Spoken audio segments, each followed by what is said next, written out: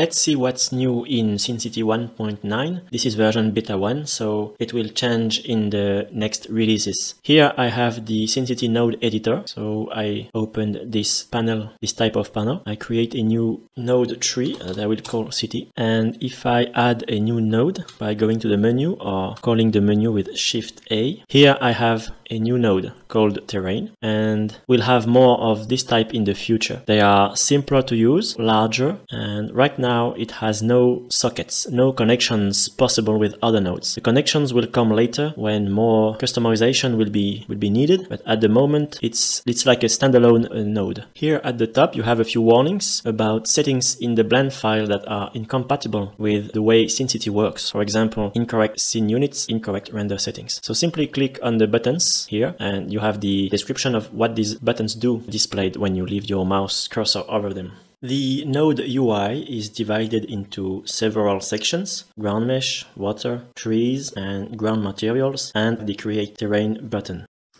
You have several terrains sizes from very small to very large. If you open Blender's console, you will see the different steps each time you create terrain, you will have a different terrain unless you disable this uh, checkbox. And in that case, you have always the same terrain and the terrain will depend on the seed. So you can randomize the seed and you will have a different terrain each time. You can control the coverage of water bodies. Okay. You can also control the land above the water level, what percentage is flat and the rest will be made of mountains. All right. Here you can control the size of the waves. So this is in meters. So as you can see, the waves are larger and now they are smaller. You can also control the strength of the waves. And you can do the same for the larger waves. And you have here a description of the kind of rotor that has this transparency. Below you have the size of the wind effect. The wind effect is best seen at a larger distance. So as you can see here, we have the, the, the effects of the wind, and it can be larger or smaller. We have also the strength where the wind is very calm or where there is no wind at all. So 50% means that the calm zones that are here or here will have half the waves relative to the windy areas. Then you have also the transition from the calm areas to the windy areas. So a very small transition scale will, will lead to very strong demarcation between windy areas and, and calm areas.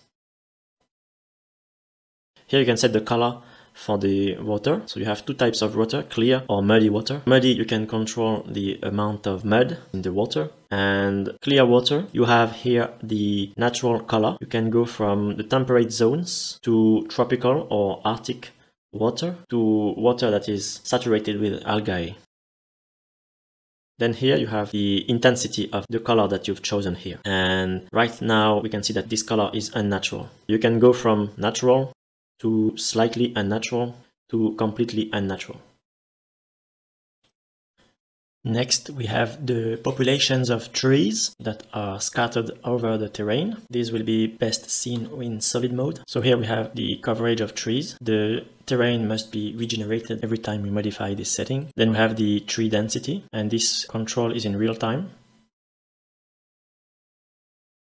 Then we have the forest size. This controls the variations of the forests, so we can see better on a larger terrain. If the forest is 100 meters, we have the different, uh, we have the patterns of the forest that uh, repeat. And if we increase the size, then the pattern becomes less visible. And then we have the roughness of the delimitation between the different areas of the forest. So these have smooth transition and these have a rougher transition. At the bottom here, we can control the textures displayed on the flat areas and on the mountains. You have access to a selection of seamless textures. For the ground texture, let's use, for example, this one. And for the slopes, let's use this one.